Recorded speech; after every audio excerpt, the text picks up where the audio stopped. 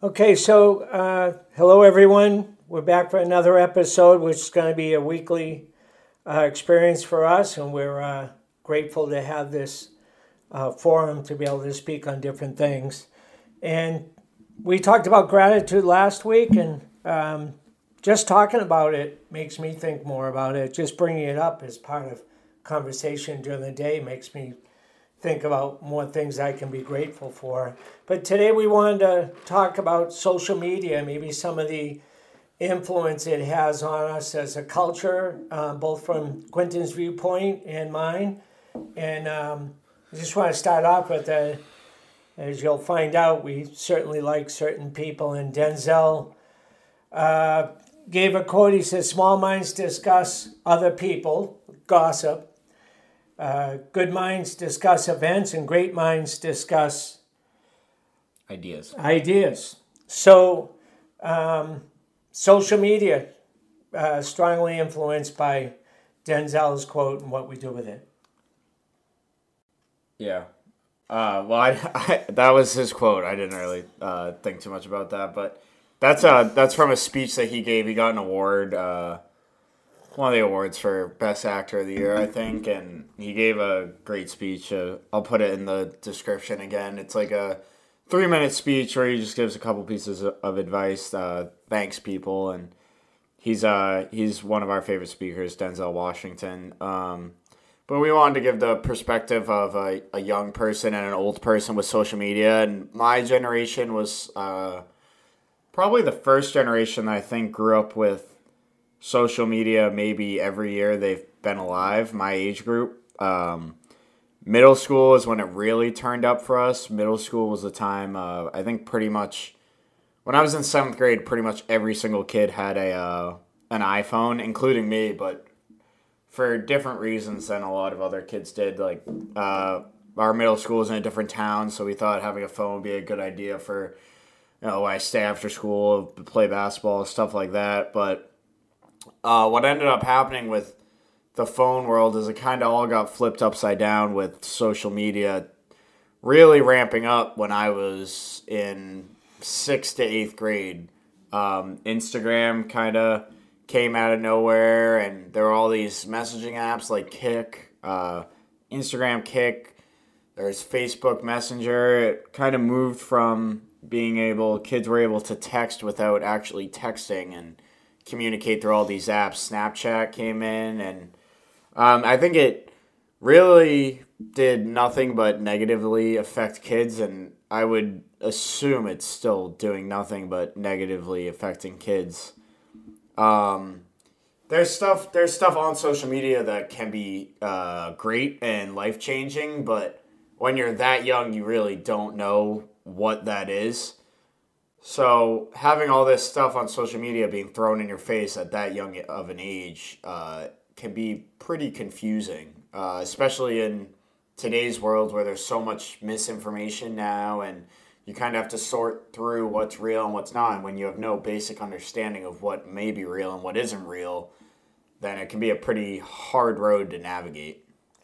Yeah, I think as a, as adults, I was uh, the kids are way ahead of us on understanding social media and how to use it and so on, and yet we're always scared of what they're seeing, uh, how much time they're putting into it, and how positive it is, and yet they need their they need their phones in school most of the time now. They're on their computers with school all the time now, so it's a necessary evil for sure, and it's something that as adults i am still learning a lot about it. And um, I, th- I see a lot of adults really struggling with it too. So what i used to think of as a young uh, teenager issue is actually i'm learning that it causes a lot of problems with the adults that we'll talk on too. But i think um, quentin might be able to shed some light on how kids use social media that uh, parents and we as adults aren't even aware of.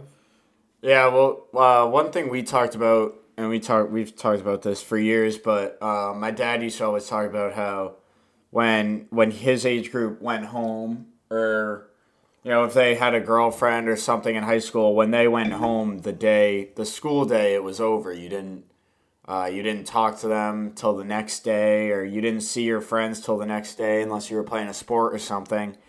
Um, now, for for kids growing up in the social media age, their day never really comes to an end. Their school day never really ends because they're still in contact with basically everyone from their school pretty much the whole day. So if uh, if my dad growing up, if he didn't get if his friends didn't invite him somewhere or he didn't get uh, you know he didn't get some award or whatever, he didn't even know about it, and it probably didn't affect him where now kids are seeing that on social media that they might not have gotten invited to a party or they might not have, uh, you know, anywhere. They might not have been invited somewhere. And uh, now they're sitting in bed and thinking about, you know, why why wasn't I invited? Why uh, maybe you know, do they not like me? And uh, kids call that now. It's called FOMO. It's called fear of missing out, and that actually is a a huge thing that gets talked about in school and uh, with psychology stuff. And I do think it was created all through social media because you never really are away from anybody the whole day. Yeah, I can't imagine how, I just can't imagine how that feels for young people. And even, you know, we live in a marketing world, and the phone is marketing. It's always pushing different ideas, and you can click on what supports your view. Um, you, put it on, there's news out there that you have to figure out what's real, what isn't. I can't imagine how a young person can sort this out when I know I have trouble with it, and a lot of my friends do too. And there's a lot of negative uh, issues on social media that can, um, I don't know, I just think it's, it's, we don't do anything face to face anymore, very rarely. And I've always been that way, and I've appreciated others being that way with me too one of the worst parts for uh, about social media for me or having a phone or having technology all the time was how much um, it affected my sleep and not so much actually sleeping but the i just i never wanted to go to bed because i had all this other stuff to do and i i still fall into that trap sometimes. I like watching movies or i have my tv on late and instead of sleeping and making sure I'm well rested for whatever I'm doing the next day, I would end up staying up on my phone or watching some dumb show that I probably don't even care about all night. And as a young person, that it really uh, it killed me. I would come home from school pretty much every day and go straight to bed because I was so tired because I, I would barely sleep the night before staying up on my phone or staying up watching TV and then the next day I'd have to get up at 5:36 and go to school for 7 hours and I'd come home and crash and would do nothing with the rest of my day, which is actually my free time and when I should be able to do what I enjoy doing a lot more. Uh, now I I I don't use my phone compared to other kids my age. I use my phone and social media uh, when I have to. I use it to communicate with people, but as far as my screen time and how much I'm actually on my phone, it's probably about 10% of other kids my age. And I, uh, I wake up uh, really early now, but I wouldn't be able to do that if I wasn't uh, going to bed earlier than most people my age. I, I don't use my phone that much right before I go to bed. Um, it's just it's something that is so simple, but as a young kid, you don't know why you shouldn't be on your phone all night. You don't think it's going to affect you. You don't know how much your sleep affects your mood and your attitude and how you feel physically. And it's something I wish I learned younger and I wish uh, was kind of maybe even forced on me more as a kid, but you don't know that until you go through it. Yeah, I think um, the the issue with some of the social media, and again, I'm still learning, but so take TikTok as an example. You click on something on TikTok, which it has great stuff on there but if you click on one one item, the they then are able to send you more on that same topic, probably a similar point of view. Um, and, and that's more what you're seeing. You're not seeing dissenting viewpoints and uh, those conversations that used to take face uh, face to face take place in a classroom or so on. It's we really stay away from now. It's people don't even answer their phones anymore. They want to know what you want to talk about before they're going to take your call a lot of times. And um, I don't know, do kids do that, Quinta? They always pick the phone up when their parents call? Or? Nah, uh, I don't know. maybe one of the things that I found interesting was uh, me and one of my teammates. I always I walk in the woods pretty much every day now because it's nice. When it gets cold, I won't, but I try to get out. And one of my teammates has started. Uh, he started to come with me, text me every day now. You know when we go in. Um, and he's he's a little older than me. We he's a similar way. He doesn't really use his phone much. He he likes doing some other stuff, and we we walked and talked for about two hours. Uh, we've done it a couple times, and um, one of the interesting things with him is that we'll be with uh, our other friends or other teammates, and he'll say to me like, "Hey, Q, you want to go uh, walk today?" And every time someone else hears that, when he says that, everyone's like, "What do you mean go walk?" Like, like it's some crazy thing to to go outside and walk in nature, and I think that's just the way that people have been programmed, except especially post COVID, is that the outdoors is actually a weird thing to be in, and it's more normal to stay inside and watch football all day or stay inside and gamble or do other stuff than it is to actually go outside and walk and talk to someone who me and him really we don't have much in common at all but we walk and we talk about stuff like uh like adults and it's a healthy experience every time because one it's physical fitness and two you're just talking with someone that maybe you don't know much about. Yeah the old uh, sitting down at the dinner table is so hard for people now with schedules and so on that even so young people didn't grow up with that experience. I know Quentin really didn't. Uh, just running off to practice and so on, and to take that time and just walk and breathe, you know, comfortably and no pressure and no expectation, and just have honest conversation. I know Quentin's mentioned when he goes for walks with uh, his friend that they're not thinking the same way on issues. They're just exchanging in a relaxed atmosphere. Most of the time, I find I I'm I'm starting to isolate myself into groups because I don't want to debate everything, and I know that when you say anything, people can misrepresent it if they choose to. And at least when you're face to face, you can answer back to something. But um, people don't answer their phone. They don't even want to reply in writing a lot of times because they're nervous about how that's going to be taken and misrepresented. And um, I mean, I'll sit with somebody, the phone will ring, and I'll say, You're going to take that? And they'll go, No, I'll take it later. And so I'm thinking, Well, when I call, now I know if they don't answer the phone, I think they're doing the same thing. So I, we almost have to learn how to communicate again. And the, the best way is always going for a walk, like Quentin said, sitting down, having a coffee, and exchanging ideas. Or for me, it's having dinner with friends and talking that way.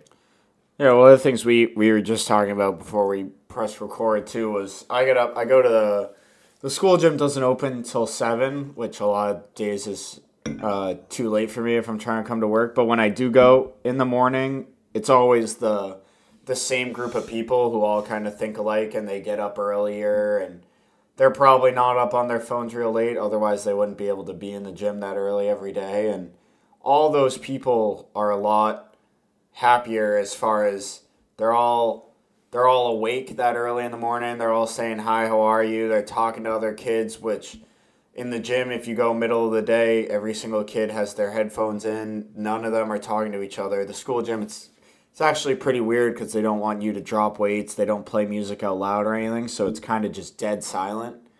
But in the morning, when it's the group of people that are uh, committed to it and probably take their physical health and mental health a little more seriously. The gym actually, you can hear a chatter in it right when you walk in, just because kids are actually talking to each other, which um, I found interesting. And we were just talking about it, and it kind of came slipped into my mind. But yeah, less stress. Uh, when you first wake up, if you go on your phone and look at all the negative news, you're going to be uptight. And for me, I'm I'm up very early, so it 4.30 by 5 o'clock the latest. I'm up getting coffee and to quentin's point everybody that goes into our cumberland farms at that time of day is friendly happy to be up taking a deep breath to start their day probably gathering themselves instead of waking up rushing from point a to b which does create stress. And another thing on that too and uh, kind of proud of quentin on this one where you know we we changed schools in high school and you know, we talk about it now because now it's after the fact, and um, just being around people that make you happy, uh, communicating, whether it's social media, you know, people that are positive, and um, I think that makes a big difference. You, you don't want to. We were actually, um, you know, Quentin's. We both like Steve Harvey, and he al- he always gives very positive messaging. And I have a um, a friend who will, whenever I talk or text, with her, I hang up and I I look at the message and I just feel better. And you want to surround yourself with people that fit your way of thinking on making you feel better. What starts your day off better? What what combats the challenges of the days better and prepares you for a healthy day? As far as mental health goes, for me, when I uh, when I used to wake up, the first thing I would do was check my phone. At from middle school through high school, it just became such a habit waking up and checking my phone and looking at whether it's even just world news without even wanting to look at it. Your Apple sends you a notification about the news every single morning. The news app does, and that's that's in the back of your head waking up every morning when you wake up and look at that and the biggest change that I've made for my mental health, as far as one reason I think I don't think I could get depressed now or anything like that, is that when I wake up in the morning, I do, like you said, try to start my day off with something that makes me feel good, whether it's going to the gym first thing in the morning, if I wake up then, or usually I wake up a little before that and I'll try to leave. I don't even wake up and look at my phone. I leave my phone, I'll go for a walk outside, or if I do bring my phone, I'll listen to a podcast early in the morning uh, by someone I like or by someone positive that uh, makes me think about things or listen to good music. Uh, I think that's very underrated. I think we are what we consume, whether it's what we watch on YouTube or TikTok, who we listen to, who we hang out with, uh, what you eat. Everything that you consume affects who you are as a person and how you feel for the whole day.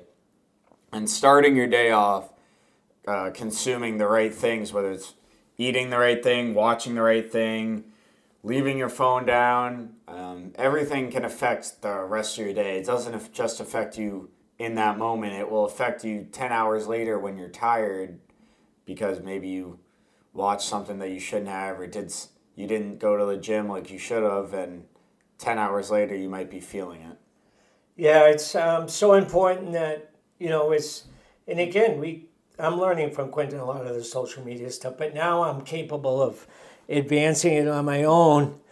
And um, I, I like Quentin. I like a lot of movies and I watch them, but I do tend to gravitate toward um, Netflix shows and so on, maybe of combat or uh, government things, and that's not always a good idea. But I'm also, uh, I'll catch myself and I'll put on a Robin Williams uh, TikTok thing and listen to how golf was created, which is a true story. If you get a chance to Google Robin Williams, how the Scots uh, started golf, or a Rodney Dangerfield thing, or something that fits my sense of humor and makes me feel good and kind of pulls me away from that real seriousness of. I mean, my work is serious, so I pay my bills.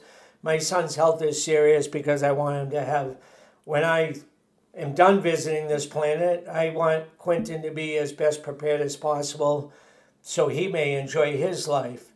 And the rest of it shouldn't be taking up as much time as I think I allow it to.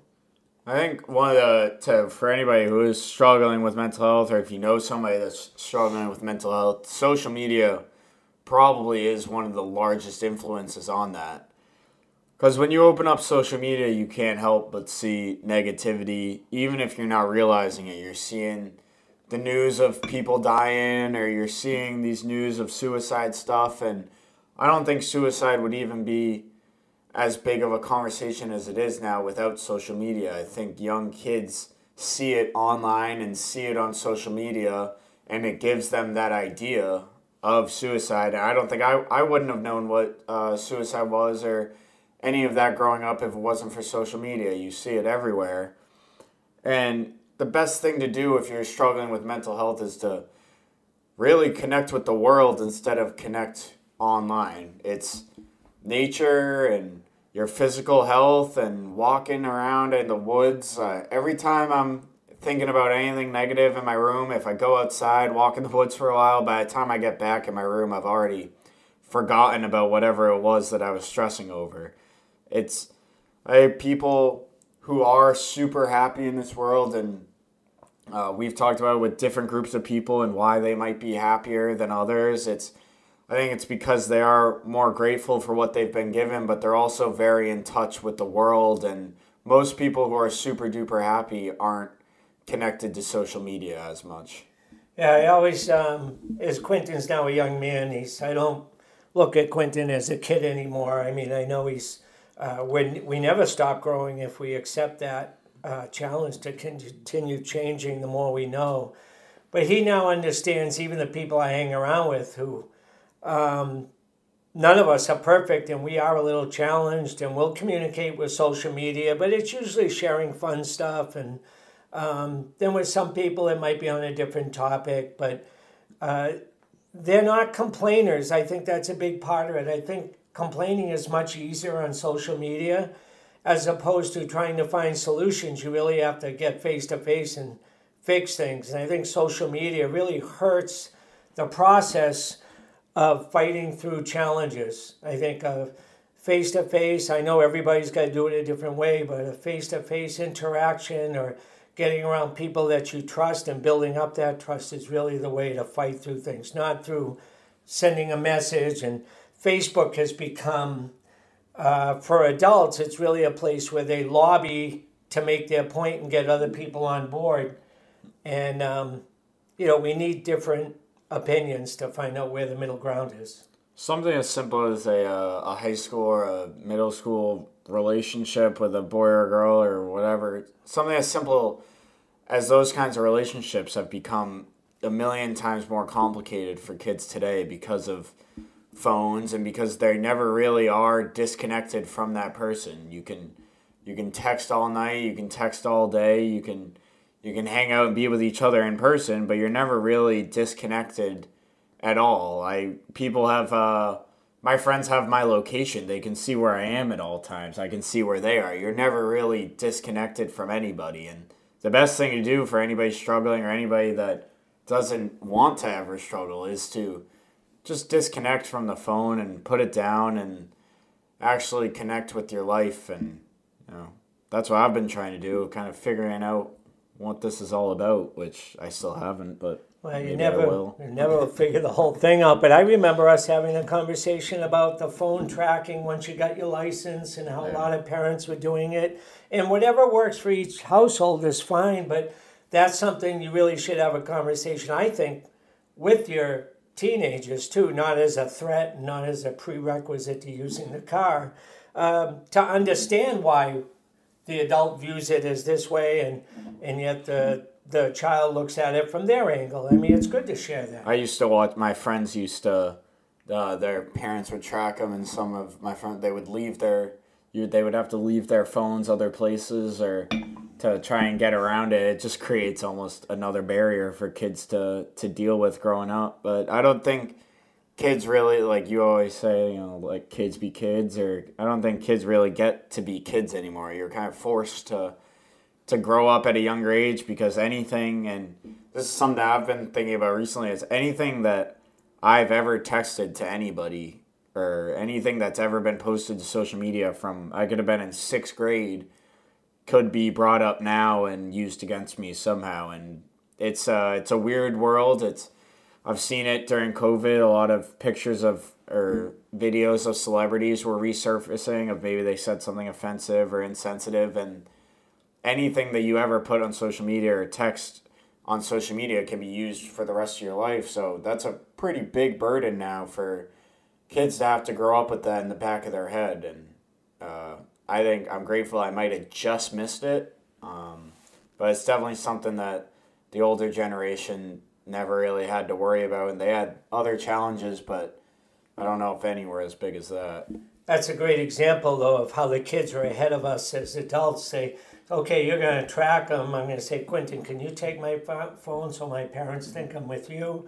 Or whatever. And that's just normal kid behavior, trying to beat the system a little bit. And we know adults do the same way professionally sometimes. So you know, I'm never surprised by it. They're just being kids. They're trying to stretch the boundaries and so on. But boy, what a lot of responsibility they have. And every single one of my age group, uh, we're very grateful we didn't have cell phones. It's come a long way from putting the dime in in, uh, in the phone booth to call home. But I knew my mother would, uh, I'd be in trouble if I didn't. So the fear factor was better than uh, anything else. It's easier to talk with your kids now with phones and social media, but they're still going to have their kids and they're still going to have the same challenges we did. We are no different than our kids on the way of thinking. The tools and mechanisms, I think, are much different. So, um, one thing I want to bring up, we'll, we'll address this next time, but we, we're going to use this platform to help people as much as we can. And uh, we have a friend, both Quentin and I are friends with this gentleman who's going to have a physical challenge, a health issue coming up with uh, the need for uh, kidney transplant and maybe transplants with an S. So we're going to share that. We're not going to offer our uneducated opinions on the medical side, but we're going to share that once we know more. So we hope people will uh, pay attention. If you can pass on to some in some way that it might be helpful, well, we'll use our podcast to help people in any way we can. So uh, thanks. Go ahead. Go Yeah. ahead. Well, if you're watching this on your phone, put it down. Um, get off social media. Don't listen to us. But yeah, that's it. Uh, all right. Thanks. Thank you.